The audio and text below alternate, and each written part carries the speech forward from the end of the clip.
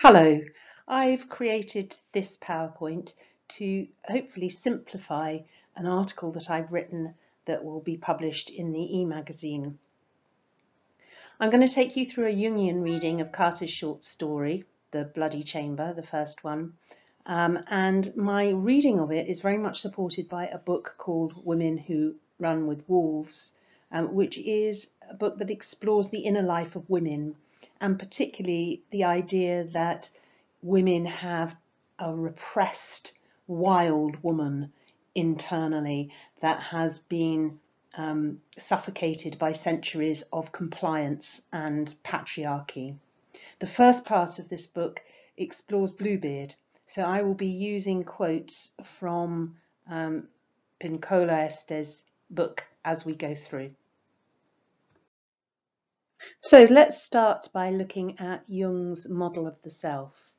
Um, if you look closely at this diagram, you will see the shadow self at the bottom, the self in the middle and the ego at the top.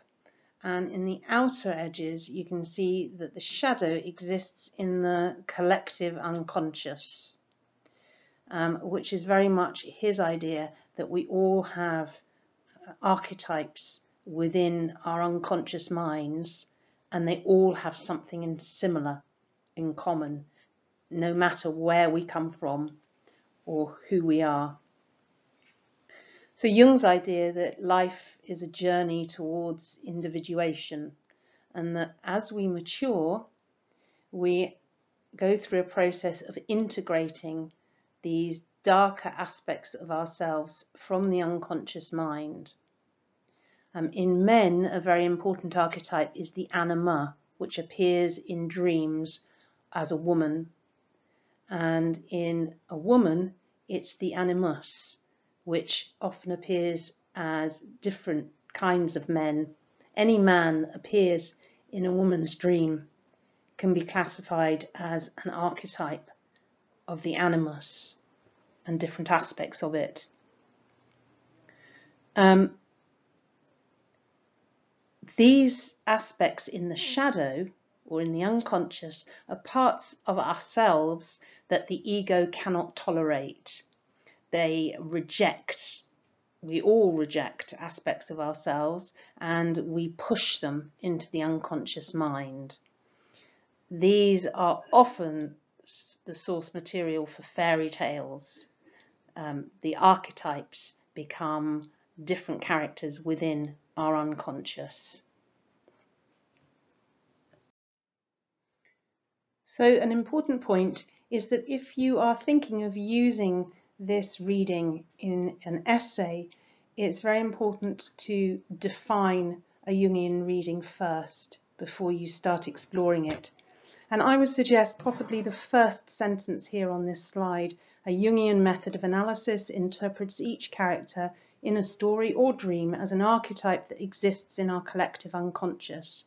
And then you can go on to explore um, and interpret the story. So, in The Bloody Chamber, the Marquis can be seen as the unconscious murderous masculinity of the protagonist or the pianist. Um, he is her sadistic animus. The blind piano tuner is an alternative, more sensitive masculine archetype, and the mother is a strong female archetype.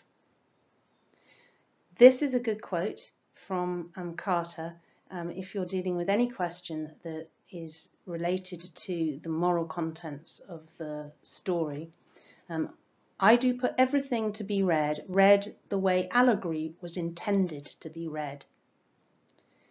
So she is seeing her own stories as allegory and inviting the reader to interpret them. Let's look in a little bit more detail at the Marquis as the animus archetype. Um, he embodies centuries of patriarchy. He has power and status as an aristocrat and the richest man in France. He lives in what the piano tuner describes as the castle of murder, where generations of ancestors are rumoured, rumoured to have indulged in aberrant behaviour. The Marquis is dead on the outside, a still, soundless presence with a concealed identity. The, pro the protagonist describes his face as being like a mask.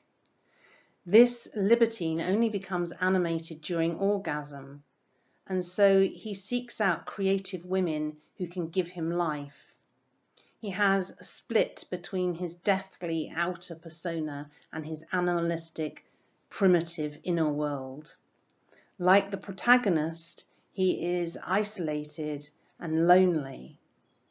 So, in this way, Carter is exploring masculine sexuality as well as feminine sexuality.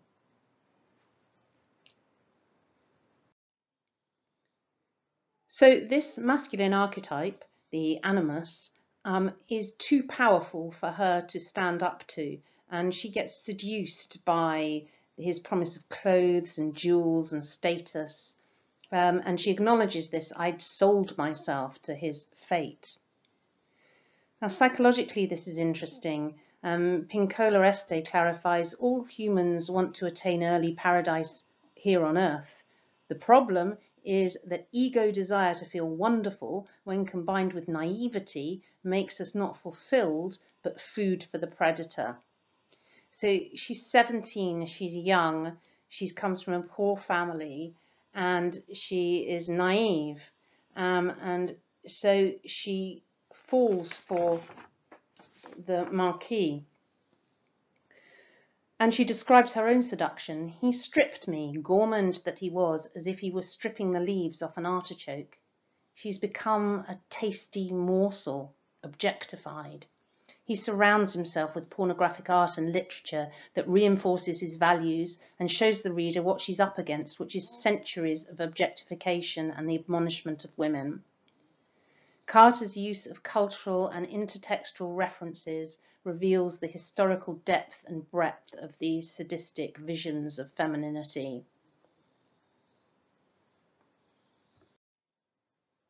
But this story is not as simple as an evil man and a good woman.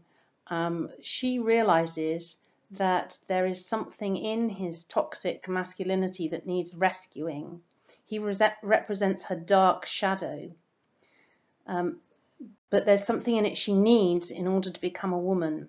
She wants to know this part of herself, to claim her sexuality, and so she embarks on her journey to the chamber, explaining that she wants to find his real self. He awakens her sexuality through erotic objectification.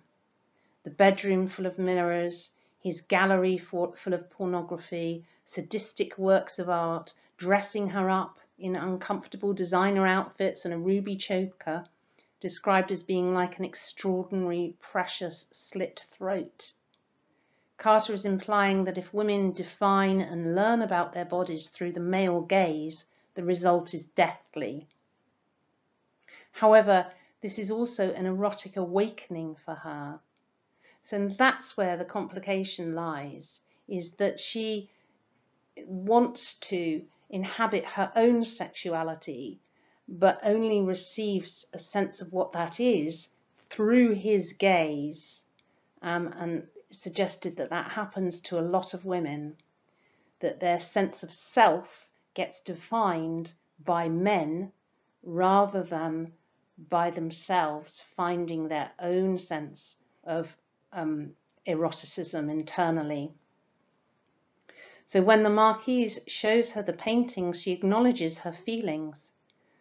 And she says, and as at the opera, when I had first seen my flesh in his eyes, I was aghast to feel myself stirring.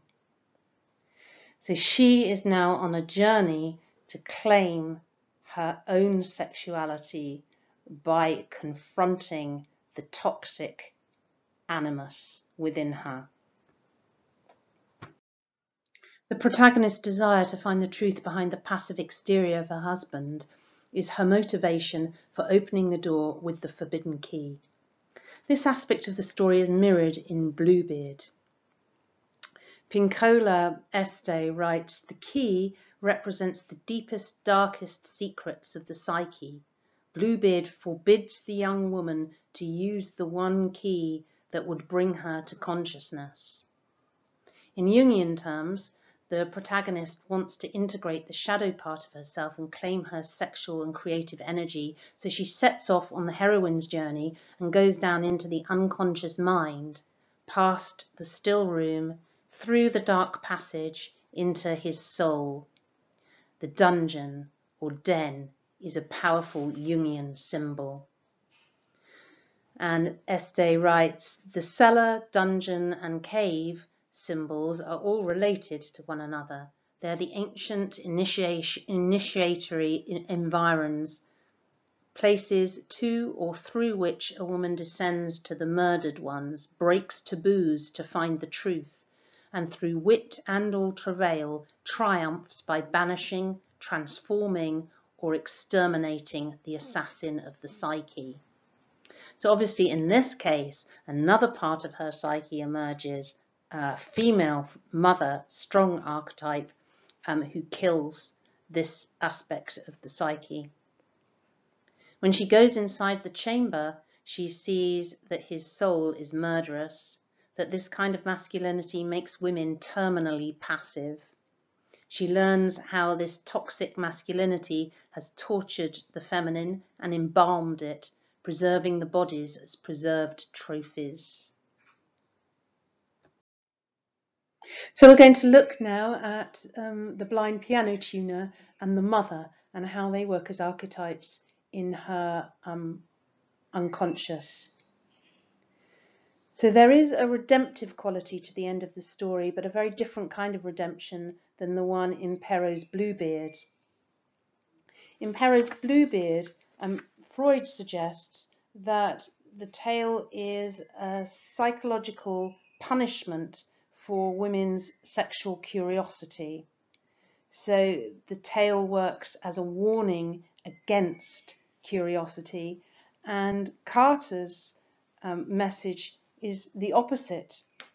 It seems to me that she's suggesting that curiosity and facing the darkness is what will bring redemption. The piano tuner is Carter's invention, He's symbolic of a different kind of masculinity, a more positive, sensitive animus archetype. He's blind, so his love for her is based on his love of her creativity, an expression of her inner world, her virtuoso piano playing. Carter implies that this is a better basis for a heterosexual relationship and can heal the psyche. He's poor, the son of a blacksmith, and perhaps for Carter as a socialist, he belongs to a more authentic world.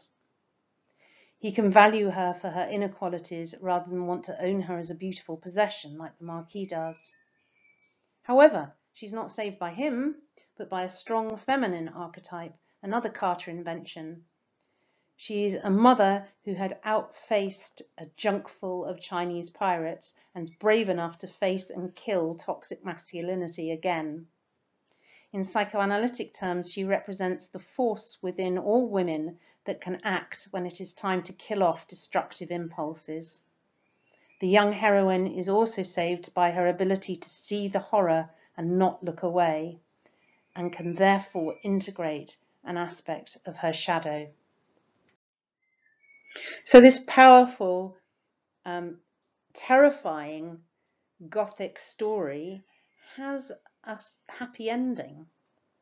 It presents a different model for a heterosexual relationship and a transformation of the castle of murder into a school for the blind.